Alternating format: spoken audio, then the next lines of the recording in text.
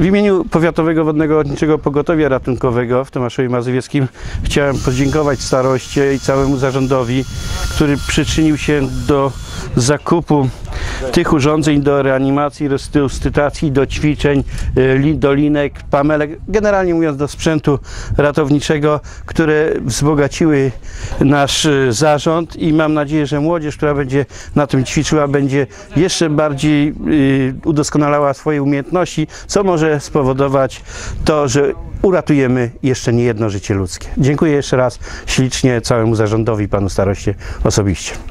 Najbardziej cieszymy się z kajaka, który ma do nas lada dzień dotrzeć. Na razie go nie mamy jeszcze, ale już w tej chwili, ponieważ mam okazję podziękować, również dziękuję za tak zwany kajak ratowniczy, na którym młodzież i ratownicy będą mogli ćwiczyć i wypływać do akcji ratunkowych. Gratuluję Wam przede wszystkim, żeście ukończyli ten kurs. No, wyjątkowo młodzi i ładni jesteście, powiem tak. Te rzeczy niech Wam służą do ćwiczeń, tak? I do codziennej pracy. Jedne do ćwiczeń, inne do codziennej pracy. Niedługo też dostaniecie, kochani ratownicy, kajak. Nie wiem, za miesiąc on przyjdzie. W połowie września. W połowie września.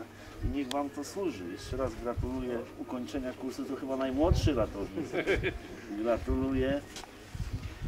I ćwiczyć, rozwijać się i chronić tych.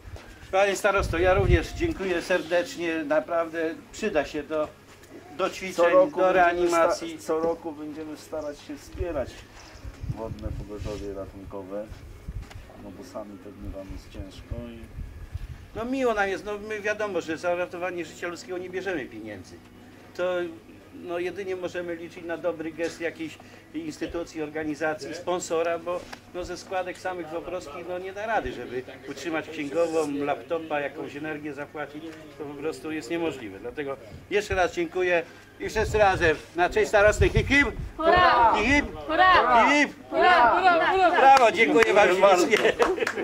No to widzicie jakiego mamy dobrego nie musimy ratować tego życia, żeby nie było jak najmniej, żeby było tych wypadków, natomiast gotowi musicie być zawsze. Żeby sprawdzić, czy jest to sprawne, to wiecie co trzeba zrobić. Odchylić mu drogi oddechowe i pokaż. musi się unieść klatka piersiowa. No, uniosło się. Jeżeli się unosi, znakiem tego jest sprawny i można na nim ćwiczyć. Ratownicy możecie od dzisiaj już zaczynać.